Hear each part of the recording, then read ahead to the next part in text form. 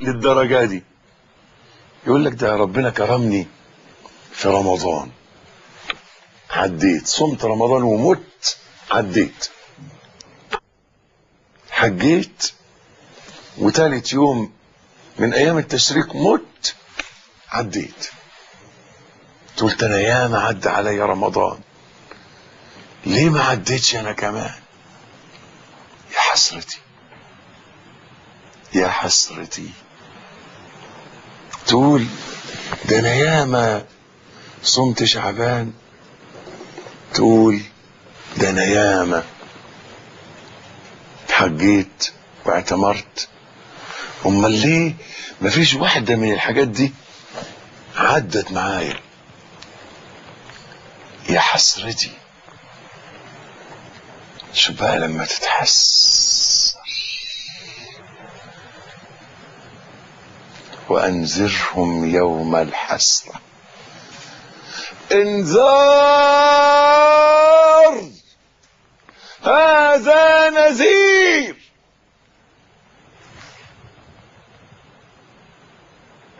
انتبه. فوق. انتبه من غفلتك.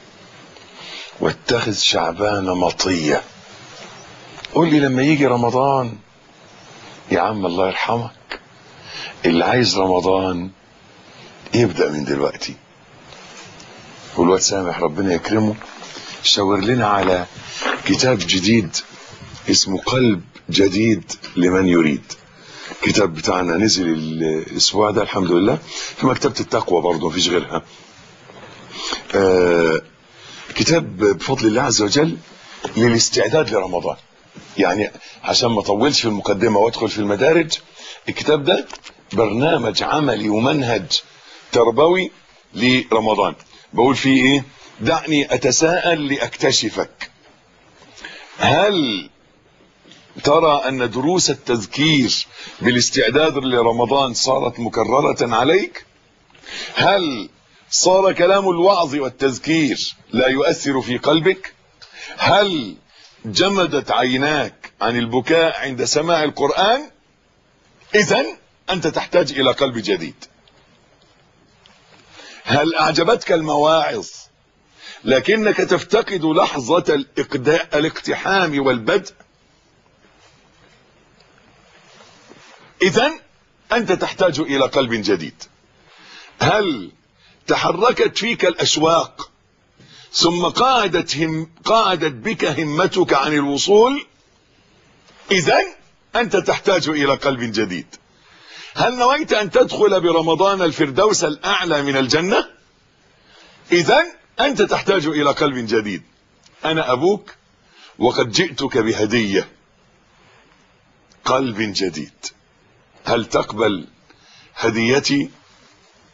إنني وأنا أدعوك إلى الإبحار إلى الفردوس تحتاج إلى قلب جديد وعزيمة من حديد.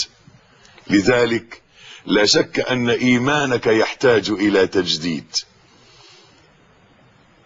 قلب جديد لمن يريد. برنامج عملي لاستعداد لرمضان جزاكم الله خير. آه نعود مرة أخرى. إلى معالجة قضية الغفلة.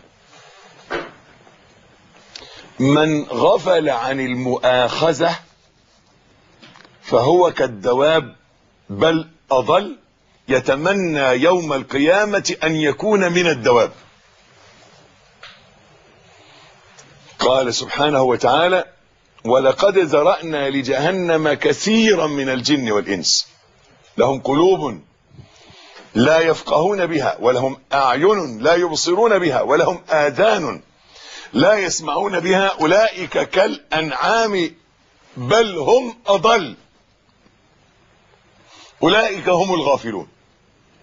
لذلك تجد هذا الغافل يوم القيامة ويقول الكافر يا ليتني كنت ترابا لأن الأنعام ستكون ترابا بعد الحساب بعد أن يختص الله عز وجل من الشاة القرناء للشاة الجماء يقول لهم كونوا ترابا. الغفلة في هذا الشهر مقدمة للغفلة عن الخاتمة. الغفلة عن خاتمة صحيفة هذا العام في شعبان هي مقدمة للغفلة عن خاتمتك في النهاية عن الموت ختام العمر. وجاءت سكرة الموت بالحق. ذلك ما كنت منه تحيد ونفخ في الصور ذلك يوم الوعيد. وجاءت كل نفس معها سائق وشهيد. لقد كنت في غفلة. لقد كنت في غفلة. سبحان الله. حقيقة طول عمري وأنا بقراها ألاقيها طالعة كده. لقد كنت في غفلة. ما كنتش دريان بدنيا. ما كنتش حاسس بحاجة. كنت نايم في العسل نوم. لقد كنت في غفلة. وشوف التوبيخ ده. لما تلاقي بيتقالك لقد كنت في غفلة. تقول إيه؟ اللي هيغفل عن خاتمة السنة هيغفل عن خاتمة العمر. لذلك الغفلة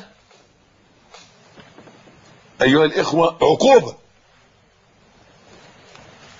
عقوبة على الغفلة غفلة. قال الملك جل جلاله ومن يعش عن ذكر الرحمن نقيض له شيطانا فهو له قرين. يا إلهي. ومن يعش عن ذكر الرحمن نقيض له شيطان. قال يعني هو ناقص ما هو غافل أصلا.